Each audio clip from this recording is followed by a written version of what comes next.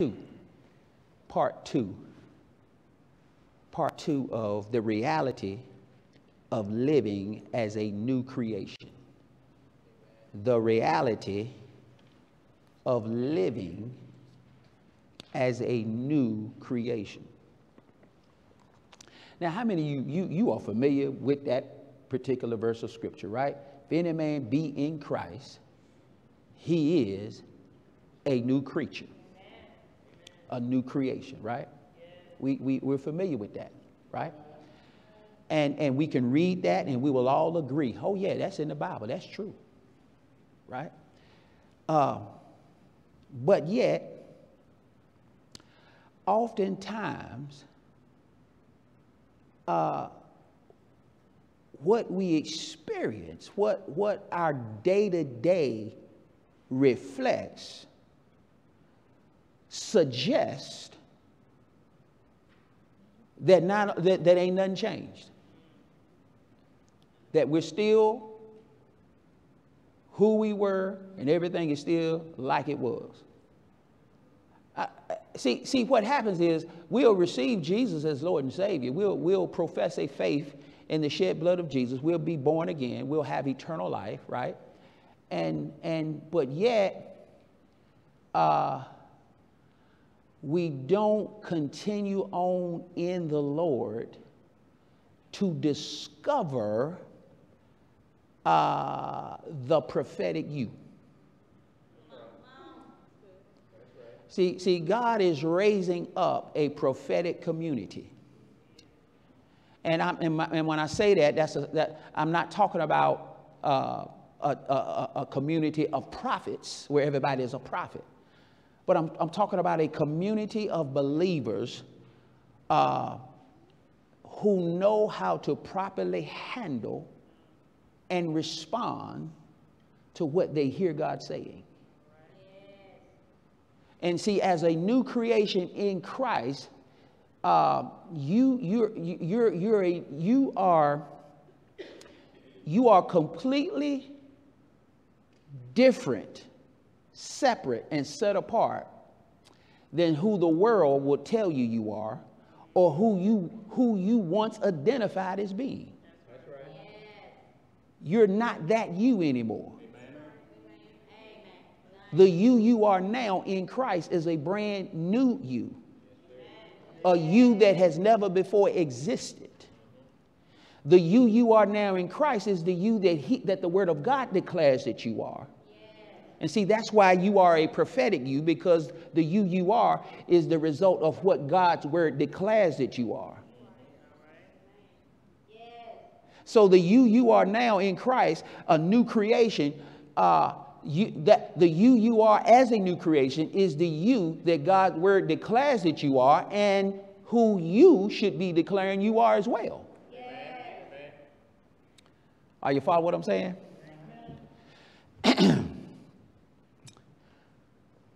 so uh, let me read it to you like this. We're not talking about a community of prophets, but those who know how to properly handle what they're hearing from God and who know how to respond in faith.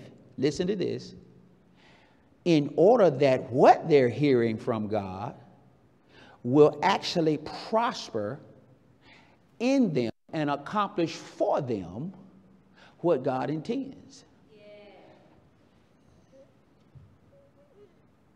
it, see, see, too often, where we've been conditioned through religion and, and just, just bad teaching to just believe, to, to have the, the to, that our approach is, well, if I just, if I just come to church and I hear the word, and everything gonna be all right. And that's, that's not so. That's not so. That's a part of it, but that's not all of it you do need to come to church and position yourself so you can hear the word. But to hear the word only really doesn't it really doesn't benefit us. Right? We have to come and position ourselves to open our hearts to hear the word with the intent to be a doer of the word that we are hearing.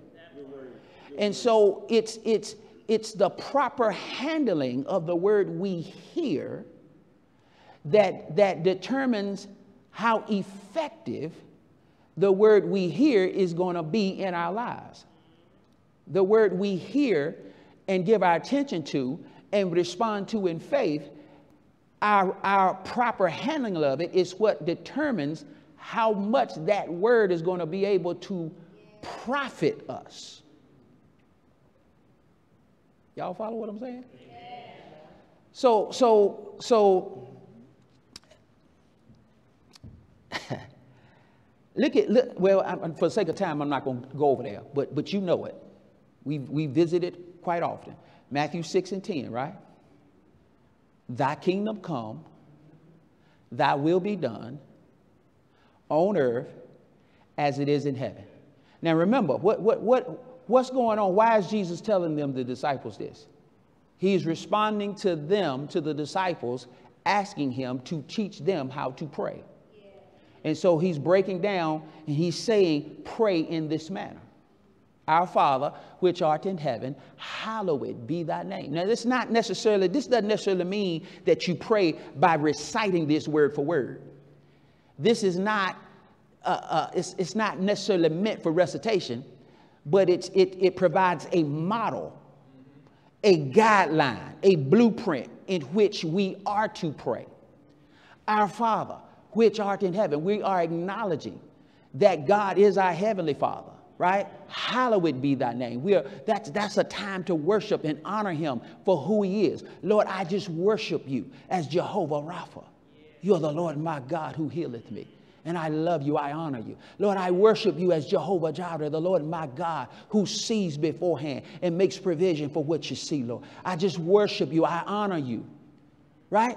So for, for so okay, so so hallowed be thy name, right? Thy kingdom come, thy will be done on earth as it is in heaven. So, so now understand the result of our prayer life, or I can say it this way the result of uh, the, the, the, what's, what's going to determine if God's will is done on earth or not? We are, we are, we are. But, but how? What, the words we speak, the words we speak, right? The words we speak, right? So, whose words or what words should we be speaking? God's words, right? So, so, so, so the thing that determines whether or not God's will is done in earth, the way God's will is done in heaven, right, is our proper handling of what we hear God say. Y'all follow what I'm saying? Go to Isaiah 55. I guess I better turn there too.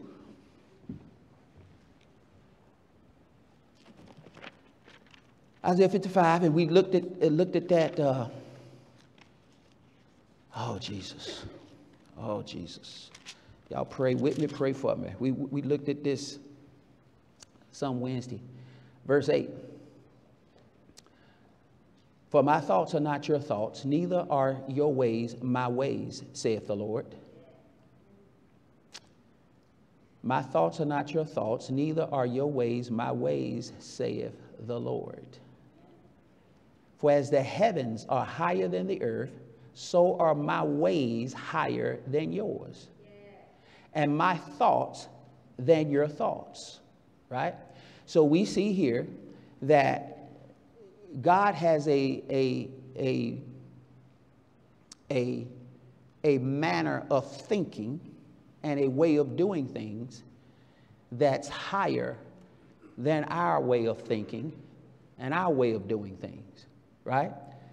It, even as the heaven is higher than the earth, so is the same with God's thoughts and God's ways, right?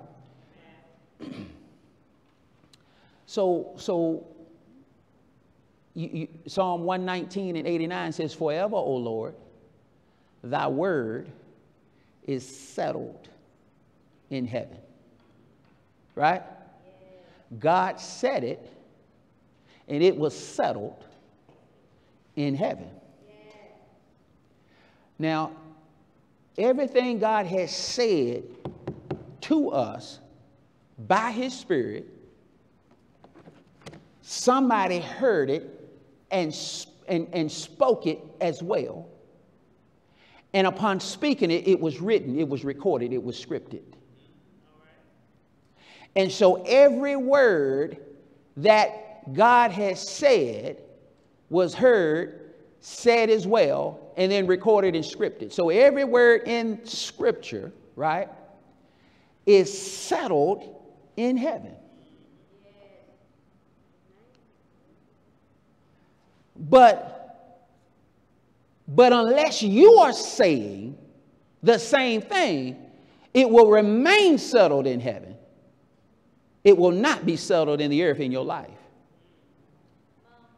And, and that's why, that's why we, we have to, we got to realize it's, it's so much more than just coming and hearing the word. No, yeah, I got to come and hear it, but hearing it, hearing it is, is, is, is, is, is, is, necess- is a necessity. It's essential uh, to me doing whatever, whatever else I need to do for it, do with it, to benefit from it. See, see, what, everything God says is forever settled in heaven, but until I say it, it's not settled in the earth.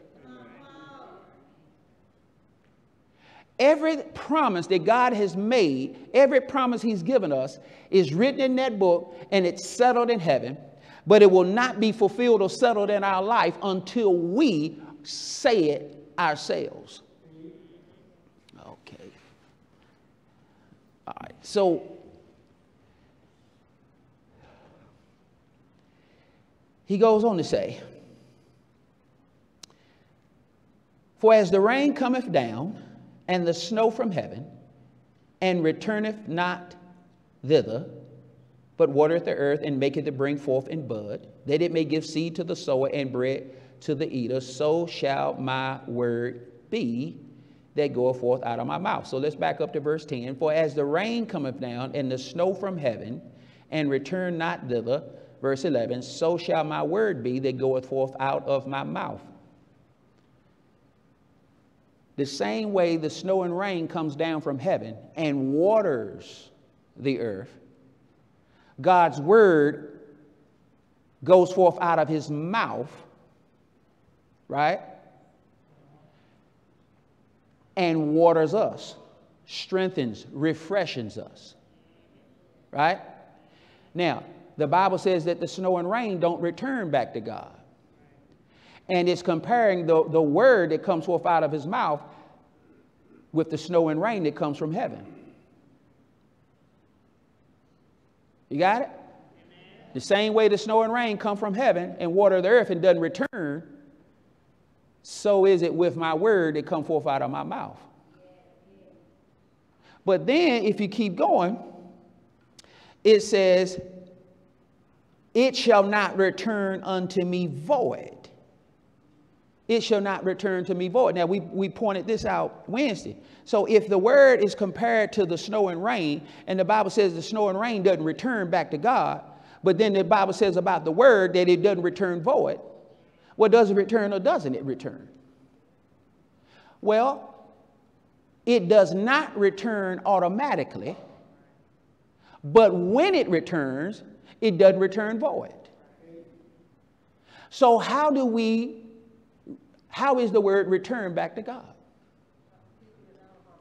By speaking it out of our mouths, by saying it, by declaring it, by decreeing it, by confessing it. Right? So now listen, listen now, listen now. If the word doesn't return automatically, but when it returns, it doesn't return void. If it doesn't return automatically,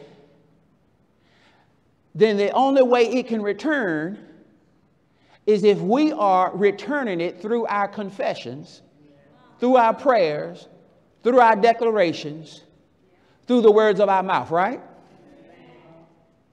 And so now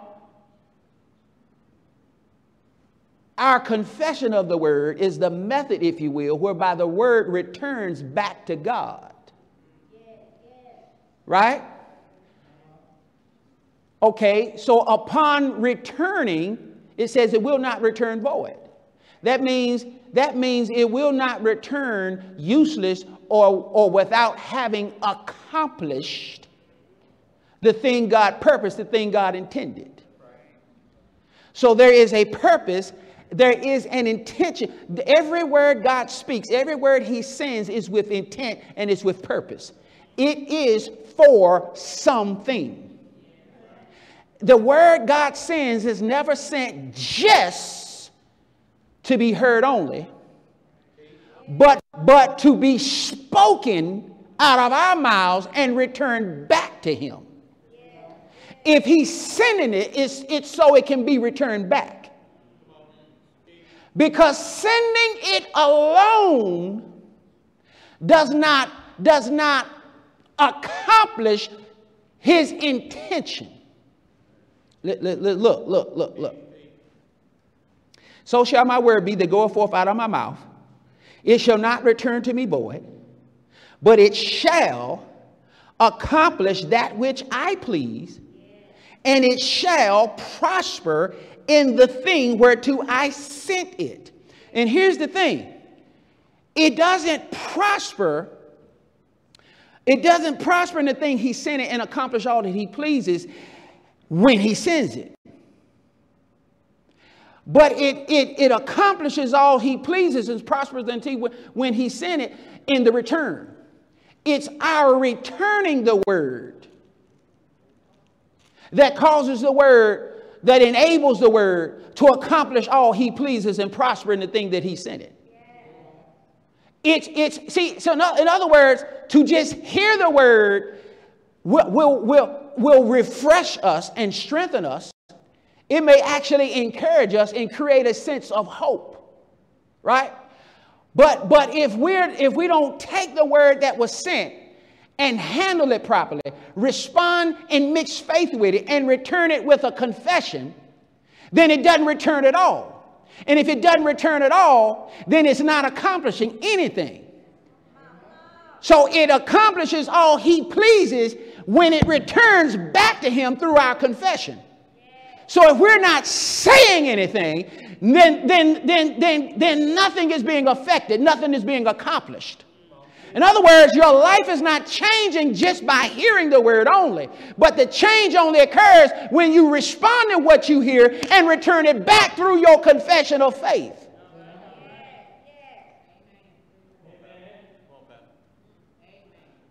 Are y'all following what I'm saying? God sent his word and healed them and delivered them from all their destruction. Okay, the intent of that was for us to be healed and delivered. But the intent is not accomplished unless we hear what was said and say it back through our confession and declaration.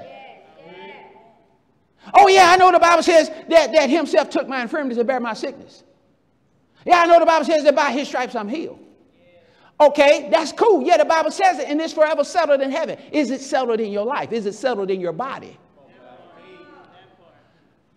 Lord, I see in your word that Jesus himself took my infirmities and bare my sickness. Therefore, I believe I received this, and I'm declaring and I'm decreeing that I am healed by the stripes of Jesus. I am free from every infirmity, sickness, disease, pain, grief. I am free and redeemed from suffering and sorrow. What am I doing?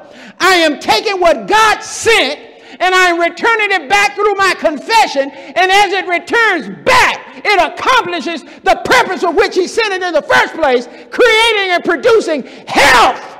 Amen. Thank you. Hallelujah. Health. Whoa! Glory to God.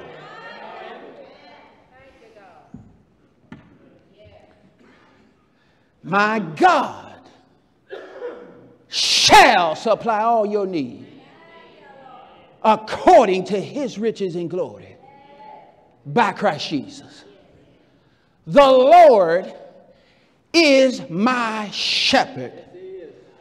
I shall not want. Why is that in the book? It's God. Now, how did it get in the book? It, get, it got in the book because somebody wrote it. How did somebody come to write it? Because somebody spoke it. How did somebody come to speak it? Because God said it and they heard it and responded in faith, handled it properly, and spoke it themselves.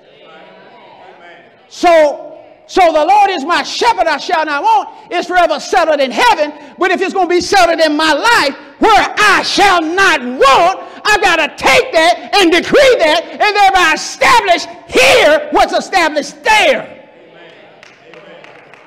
Are y'all see what I'm saying? Glory to God. So, so if I ain't saying nothing, I ain't changing nothing.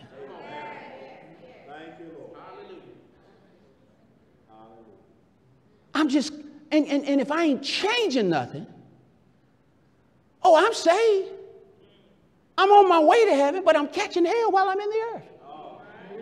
And I'm living beneath my privileges and my rights. I'm missing out on the reality that belongs to me as a new creation.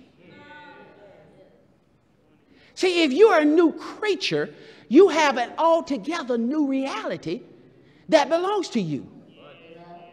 But if you're not speaking in line or in a way that's consistent with being a new creature, you're going to continue to have what you had before while, while, while you was an old sinner.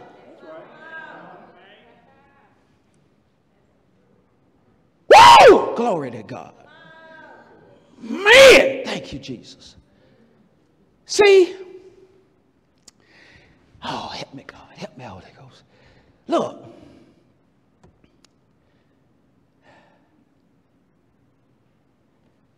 Go to, go to Second Corinthians. Oh, Jesus. Second Corinthians chapter 5. Oh, man, thank you, Lord. This. Ooh, this is, it just, it's like, it's like, it's like water, man. It's just refreshing. So, so remember now, remember, remember. Every word that God speaks, He speaks with something in mind. He speaks it for a purpose. Right?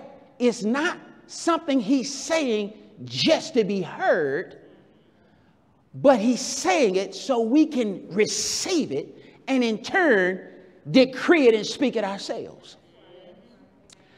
So every word he sends, every word he speaks. Now, now understand, help me, Lord, help me, Lord. Understand, understand, understand. I, I mentioned this Wednesday as well, about two New Year's Eve services ago.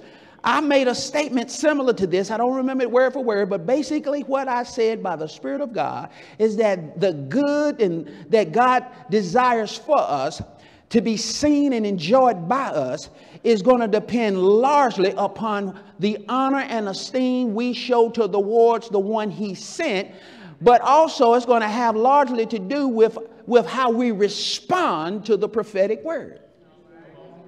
Now, the prophetic word can be a word that, that I'm preaching to you right now by the unction of the Holy Spirit. It can be a prophetic word in the form of prophecy. It can be a prophetic word in the terms of rhema when you're visiting with the Lord in prayer and fellowship, and all of a sudden just reading the scripture, bam, the light comes on, and you get quickened in your spirit and refreshed. Okay, that, now the scripture, the logos just took on a voice and ministered life to you. It spoke to you. That rhema you heard is a prophetic word.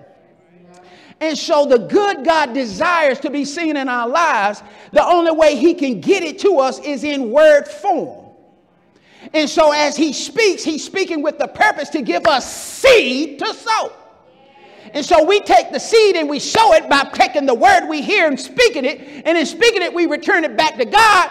And in the return back to God is how it's able to accomplish and prosper in the thing he sent it in the first place. So the good that God desires to see in your life, desires us to have in our life, depends largely on how we respond and what we do with the prophetic word or the word we are hearing.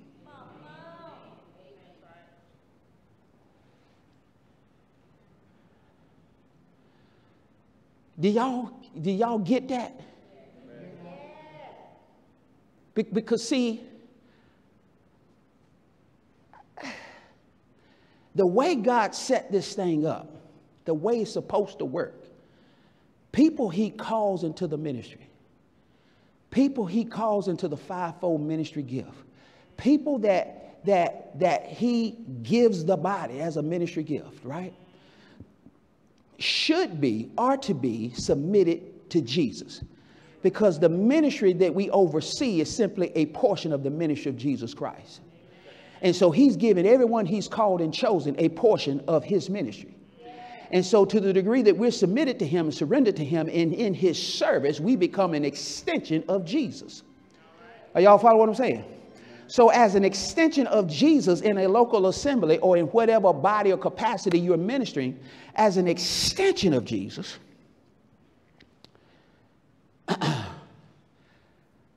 we don't decide to preach just what we want to preach.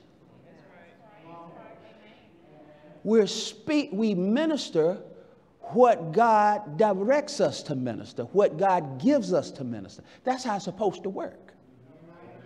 So, so then, if, if God gives a minister a word to minister, that word that he gives that minister is for something.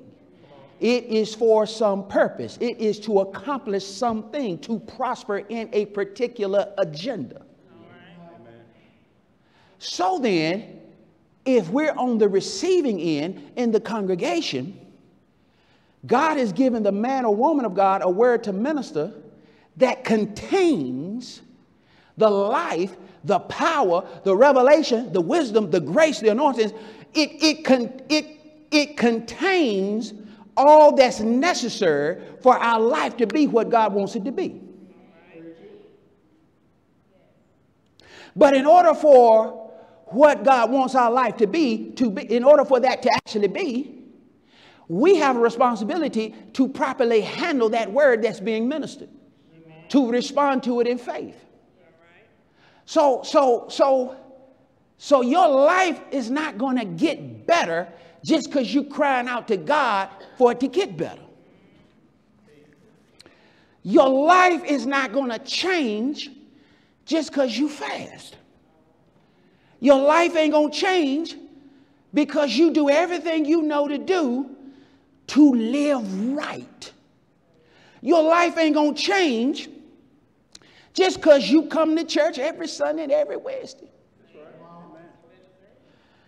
Your life is only going to change to the degree that you take what is being preached and handle it properly. You have to, you have to receive what's being ministered as something spoken by God and not just something a man is saying. Because only then can that word work effectually in our lives and produce the fruit God intends for it to produce. So, so, so, so, if you have no regard for the messenger. If you have no honor or esteem for the one God sends through whom he speaks that word, then the word spoken is going to have very little effect on your life because your lack of honor and regard because because your offense is going to block Man, I'm, I'm, I'm, I'm not trying to get you to worship me. God and me both are well aware of my, of my flaws. I'm not, I'm not trying to get you to worship me. I'm trying to get you to recognize the system, the order, so you can benefit and maximize the flow of God's anointing that He's releasing for your life. Jesus said this. The Bible says in, in Mark chapter 6, when he came to his own homeland, oh, they were impressed with his wisdom. They, they, were, they had heard about the miracles, but they were offended at him. They allowed their familiarity with him to cause them to mistrust him and become offended at him. And because of that, the Bible says that there, where there was no honor, there could, he could do no mighty works. The anointing that produced the miraculous in other places could not produce the miraculous in this place because the lack of honor blocked it. So, what I'm saying is, what the Spirit of God is saying is, the things God desires for us to have in our lives are going to heavily depend on the honor we have for the one He sends, and it's going to heavily depend on our response to the prophetic word. To the word that He gives me to preach, to the word that somebody may prophesy, to the word you hear in your spirit, you're visiting with the Lord, even sitting in this message.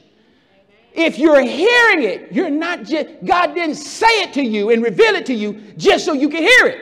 He revealed it to you, He's releasing it to you so you can respond to it. And in your response to it, you can benefit from it. Amen.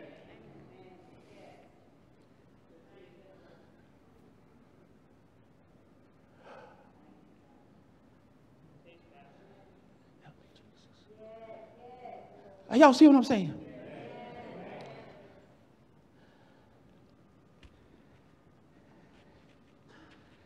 Oh, well, okay. Well, listen.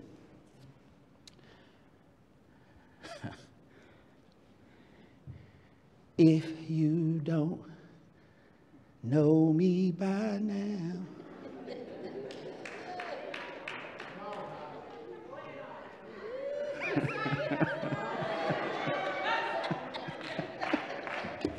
no, I ain't, I ain't trying to sing. I'm trying to communicate a point. If you don't know me by now, you'll never know me. So ain't no need of me tiptoeing with you. Amen.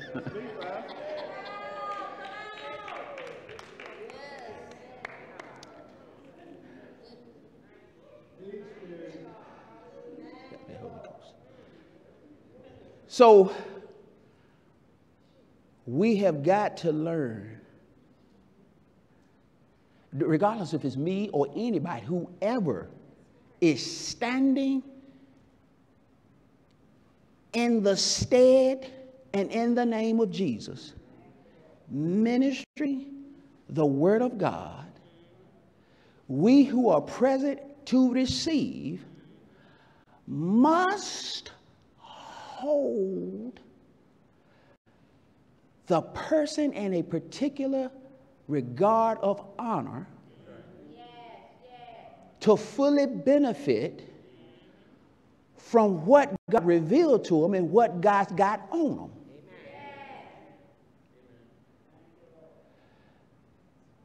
So to, to fully maximize the flow and the supply of God's anointing being released in a service like this, right? And to have it produce in our lives, then there needs to be a level of honor and regard towards the word.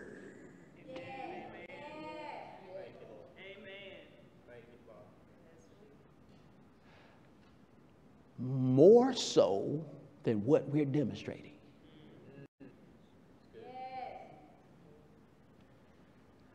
And, and, and, and I'm just mentioning this because it's coming up. Not that it's going on here today. It's not. I mean, I'm, I'm not, but, but I'm just mentioning it just for future reference so we'll know.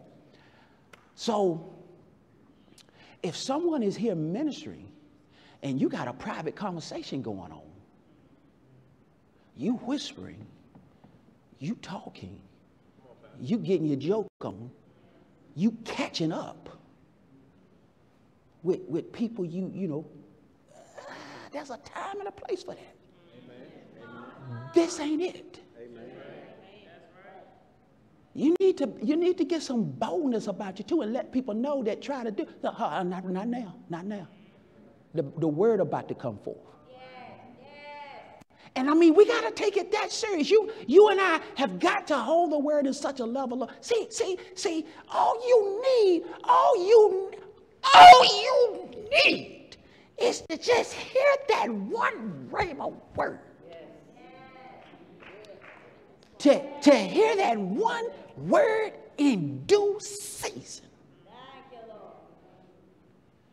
And respond in faith. And your world changes your world changes. But if you laughing at the joke when God is speaking, you a life-changing opportunity because you valued somebody else above God, because you valued not hurting somebody's feelings above God's word.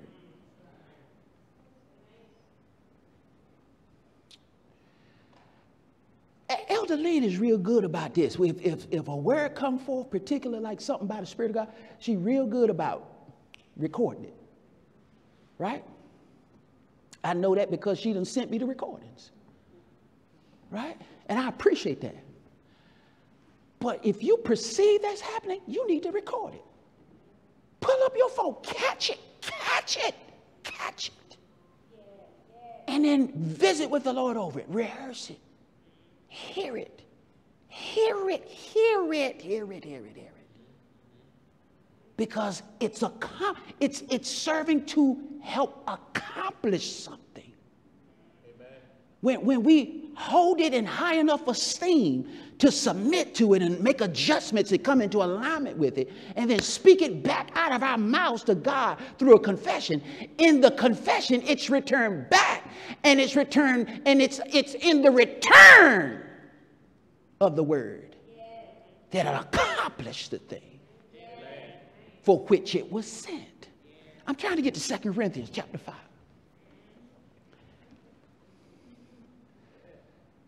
All right, verse 14. For the love of God constraineth us, because we thus judge that if one died for all, then we're all dead. Jesus Christ died for all, right? Okay, so the conclusion of the judgment is then all then then all are dead, right? And that he died for all. So verse verse verse 15 says, and that he died for all, that they which live should not henceforth live unto themselves, but unto him which died for them and rose again. Okay. So if Jesus died for all, and we agree that he did, then we reckon that all were dead. Okay, now for those who, who are in Christ, right? If we're in Christ, we die in him and we now live in him, right? But now that we live in him, right, we don't live for ourselves, right? Who do we live for? Y'all say it with some boldness. Say it like you believe it. Right? Verse 16 says, Wherefore henceforth know we no man after the flesh. Yea, though we have known Christ after the flesh, yet now henceforth know we him no more. Okay. So, so, so, okay. I had a note here I want to give you. Uh, we, we, we, we're to no longer live from self, but from Christ. We're no longer to live from self, but from Christ and to Christ. All right, let, let, let, look, look at this, look at this, look at this. Help me, Lord, help me. All right, so verse 15 and 16. Jesus died for all, that they which live should not henceforth live unto themselves, in themselves, of themselves, for themselves, right? But they should live unto him, for him, in him, right? Which died for them and rose again. So that we who are in Christ Jesus should no longer live in and of ourselves. We should no longer live for ourselves. And I'm going to put it to you this way we should no longer live from ourselves. We should, what I mean, we should no longer live from ourselves. We should no longer live from the understanding that the wisdom of this world gave us. In other words, we, to, to no longer live from ourselves, we should no longer live from who we think we are based on what the wisdom of this world said we are. Okay. So, so, so, so if I'm in Christ Jesus, I'm no longer living from myself, right? I'm no longer living or conducting my life uh, from, the st- from my knowledge of my tendencies, my failures, my shortcomings, my weaknesses. I'm no longer living from the self that the world told me I am. I'm no longer living from, from a mindset and an outlook that the wisdom of this world shaped and molded. I am now living from Christ. I am living from the revelation of who God says I am, of what God says I have. I'm no longer living from the self that's based on what I can perceive with my senses and how I feel. I'm living from the self revealed to me by the Spirit of God based on the Word of God. Y'all get what I'm trying to say? So, so, so, so, all right. So, if the wisdom of this world tells me that there is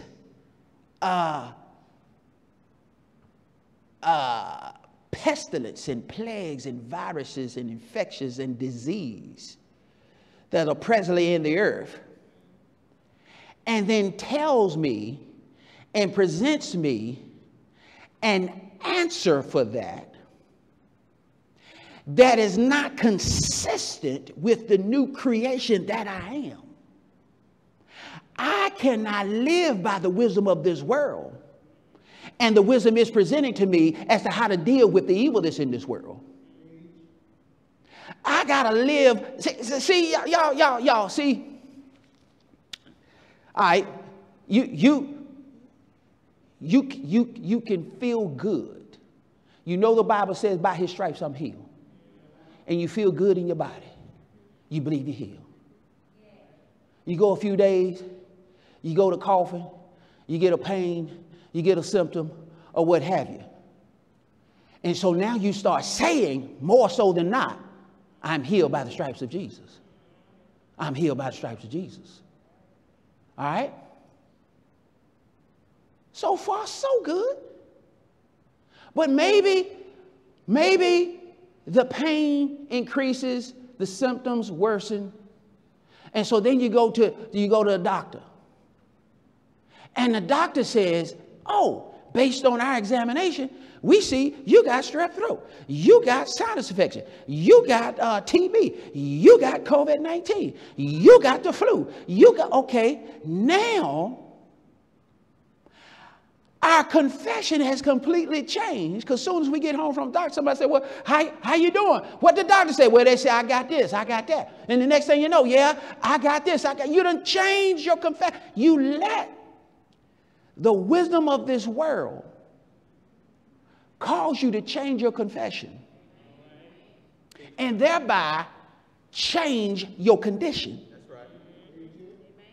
See, if I'm living from Christ, from my place in Him, from my union with Him, from the revelation of who God says I am and what belongs to me, if I'm living my life from that place and not self, not the wisdom of this world, then regardless of what the wisdom of the world tells me,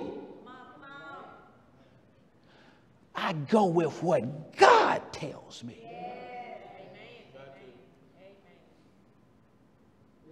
See, it's when we begin to say stuff about us God didn't say, is when we get in trouble.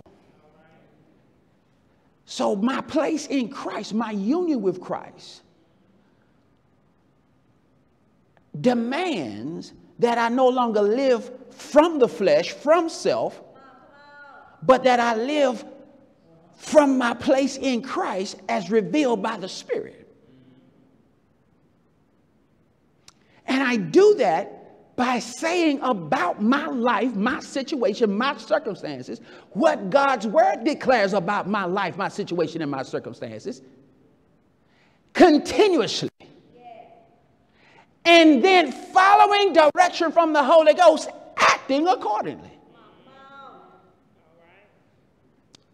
I cannot, dare not allow the, the presence of an evil conditional situation cause me to begin to say stuff about me that God didn't say. Because then I'm going to establish a different reality than what He intended. Think about it this way. I just heard this recently. This blessed me. I haven't considered it from this standpoint.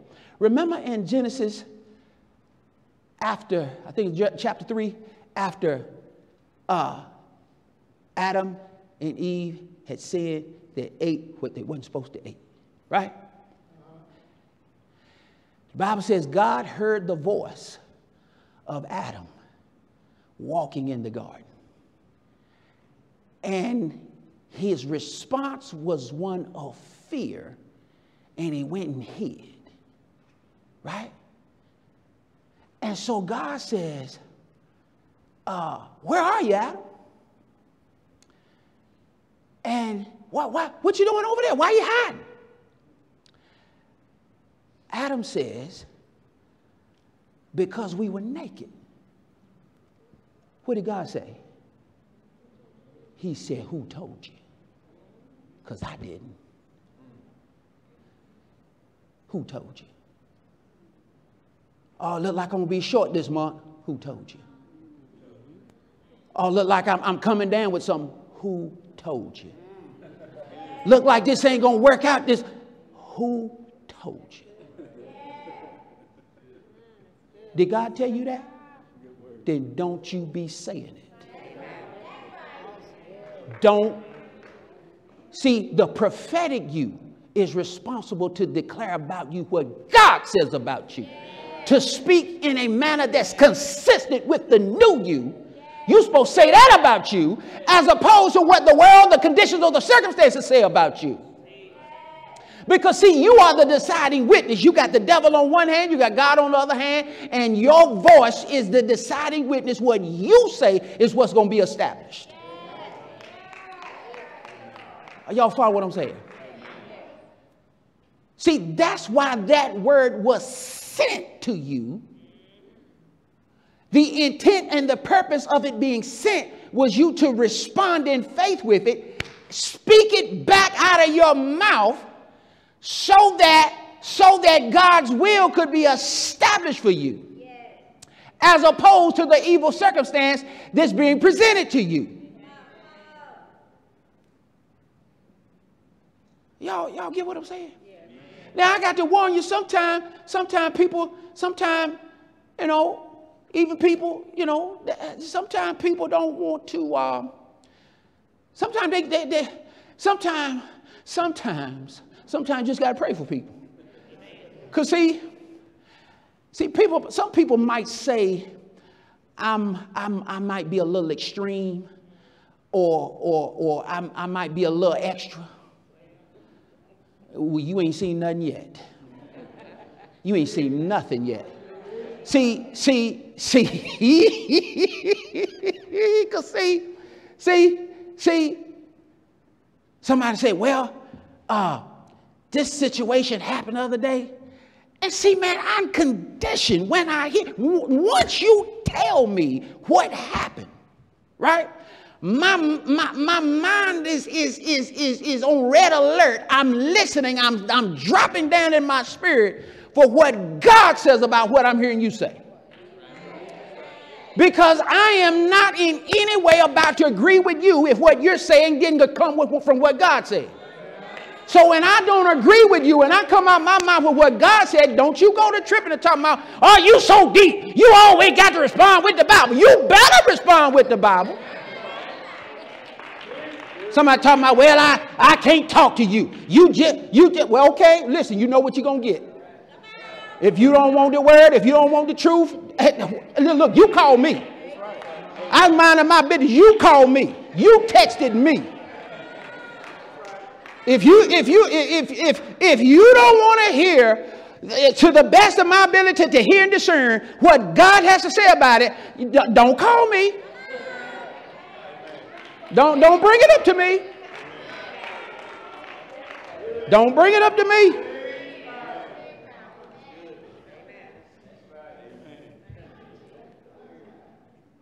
Why Why should I, endeavoring to let the word bring me up here, then come down here to visit your party, your little pity party? No, I didn't get the invitation. I'm not coming no way. So I'm going to bring you up here. I'm going to bring you up here.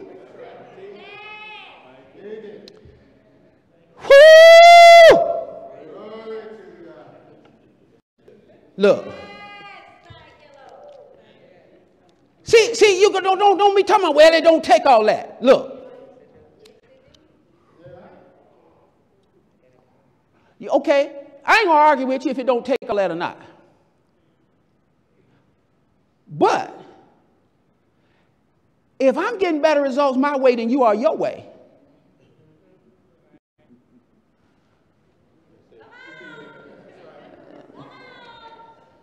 enough said. Enough said. Well, you don't know that thing going around. It came on me. Okay, yeah, yeah, yeah. Okay, praise God. Okay, I stand. I got it. Yeah, well, it came my way too. But I resisted it. And it had to flee.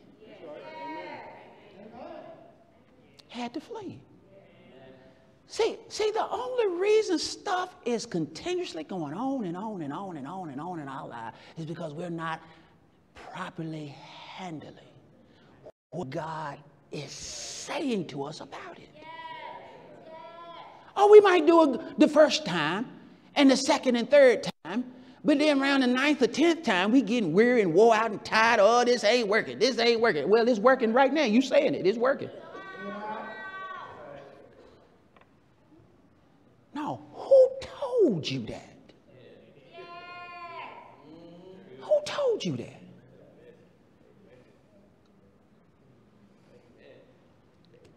Look. Therefore, if any man be in Christ, he is a new creature. Old things are passed away. Behold, all things are become new, and all things are of God.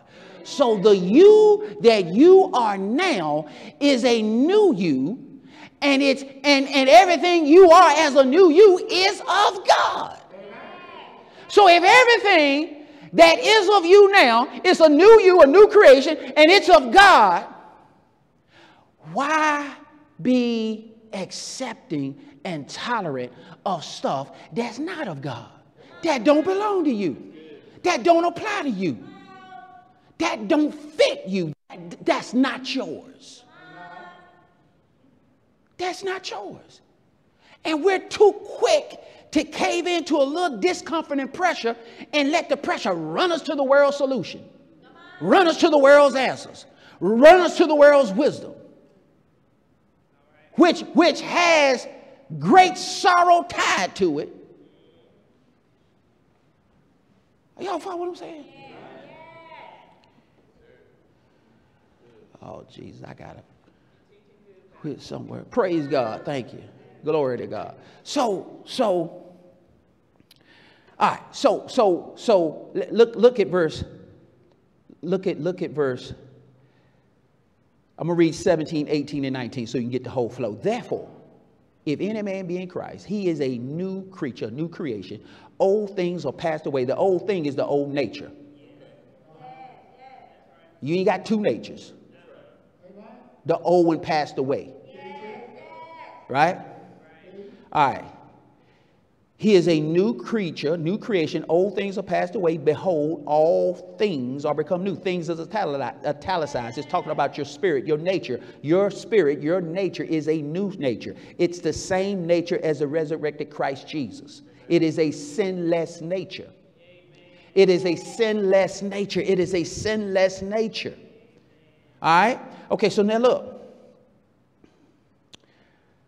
And all things are of God who hath reconciled us to himself by Jesus Christ. What does reconciliation mean? Reconciliation, well, let me read verse 19. Um, uh, it was, it was, it was, no, no, excuse me. Let me read verse, verse 18 in the Amplified. It says, But all things were from God, who through Jesus Christ reconciled us to himself, received us into favor, brought us into harmony with himself. So, reconciliation, to simplify that, reconciliation means this it means to be, to bring to oneness to bring to oneness, right? Okay, so so so all things are of God who hath brought us to oneness with himself by Jesus Christ and hath given to us the ministry of reconciliation or bringing others to oneness with Jesus Christ.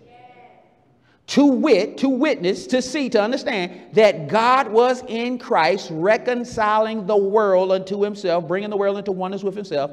How? not imputing their trespasses to them. We weren't charged with the, with the crime, so we don't have to do the time. And hath communi- co- committed unto us the word of reconciliation. Okay, so how, how did God reconcile us to himself or bring us into oneness with himself? He did it through who? He did it through Jesus, and Jesus is the word. right? In the beginning was the Word, the Word was with God, and the Word was God, and the Word was made flesh, flesh right? So, in order to reconcile or bring us into oneness with Himself, He did it through Jesus, who did it through the Word. Now, remember what we said from Isaiah 55 every word that comes forth comes forth for something. Every word I'm speaking right now is for something, it's for a purpose.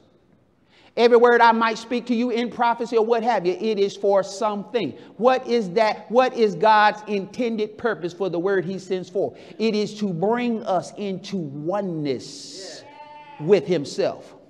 Now, positionally speaking, every one of us in Christ as a new creature, we've been joined together with the Lord Jesus. We are one spirit with Jesus. We are already one with Jesus per our position in Christ.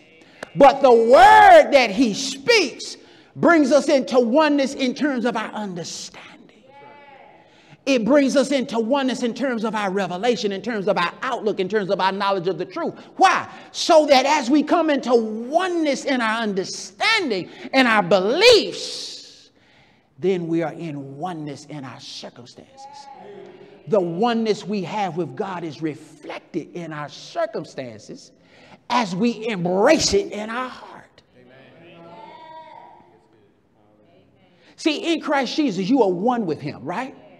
Okay, but the word that comes forth, the word that comes forth, the word that comes forth, the word that comes forth, the word that comes forth.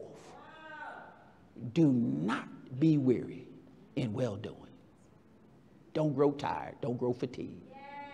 There's a strengthening, there's a refreshing that's been working in you, that's been working on you, that's going to sustain you, that's going to keep you, that's going to propel you, that's going to undergird you, that's going to hold you up. There's understanding and insight into the truth that's being birthed within you right now that will allow you to see past the superficial, past the, the, the, the, the logic and the reason that's presented, to see what God is saying and know the truth about that thing. And so as you walk through it, you walk through it seeing the truth and the end result God has ordained as opposed to being distracted by all the things that jump up along the way. All right? Okay. That word came forth to bring your understanding into oneness with God so that in your so that your circumstances will reflect the oneness you have.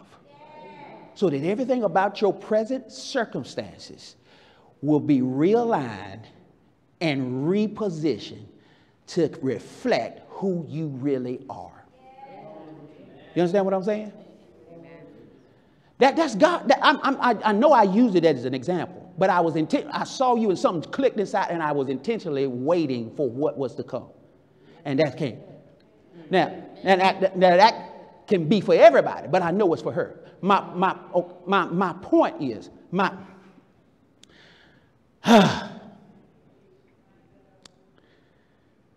Think it not strange. Don't be alone. Don't be weary when things begin to occur to you, when you begin to perceive things and know things that you did not know in the natural. Because it's simply the spirit of truth looking to guide and direct you and help you navigate things and avoid things that Satan has put in your path to, de- to derail you. But God says the train is moving forward. You see what I'm saying? Now, when that, that, when you receive that, you come into oneness in what you believe here and the way you see it here, so that the oneness you have in the spirit is reflected in your circumstances. See, that's why a word, uh, when a word comes forth, it comes forth for us to handle it and wage war with it. See, that's why when you were talking the other day, whenever, you know, you remember what you said when we prayed stuff happened? That's because God knew it was going to happen all along, but He gave you a heads up by sending a word ahead of time to be an anchor for your soul to help you battle what was going to come anyway. You follow what I'm saying? Y'all get what I'm saying? Thank you, Jesus. So, so, so, so the so the intent God has for the word coming forth is to bring us into oneness. But it's not going to accomplish the intended purpose of oneness if we don't handle what came forth properly. I got to respond to it properly in my faith and say it about myself and stop saying stuff about my life, my marriage, my money, my health that God didn't say. That God didn't say. I got to stop somewhere, so I may as well stop there. Uh,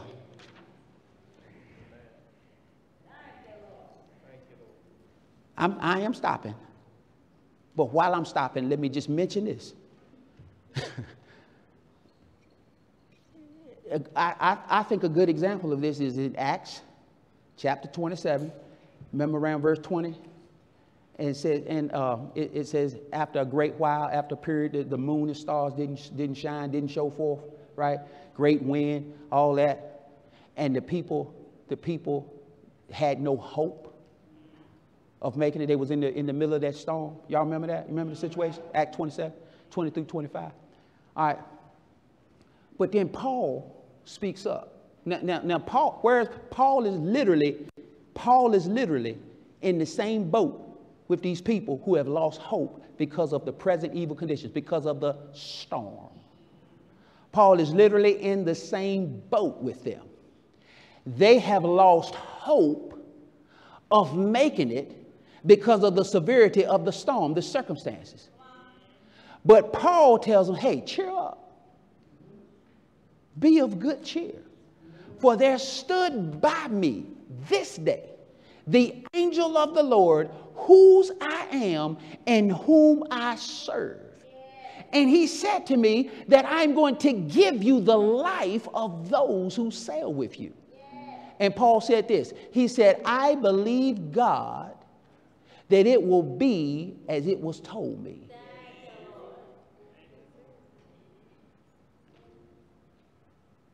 Paul did not lose hope in the midst of the storm. Paul looked to God, and a word came forth to bring Paul into oneness in his understanding concerning that situation.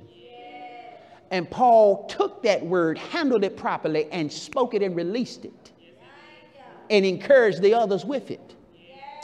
And you know, they really took heed to what Paul said because some folks, some folk was trying to cut loose the lifeboats to escape. And Paul told the captain, he said, unless they stay in the boat, you cannot be saved. You know what homeboy did? He cut the boats loose. Ain't nobody's jumping off of this. My point, Paul was a prisoner. He was in chains, bondage yet became the premier leading highest influential voice in the middle of that storm because he was hearing from God as opposed to accepting the present conditions and circumstances. He, what did he do? He, he was living from Christ. his place in Christ, with Christ as a new creation, as opposed to living in self, who's caught up in how it looks and how it feels. And that's where we are for the most part. We allow stuff, the way it looks and how it feels, to move us to, to, to react instead of responding like the new creation that we are. Let's stand on feet.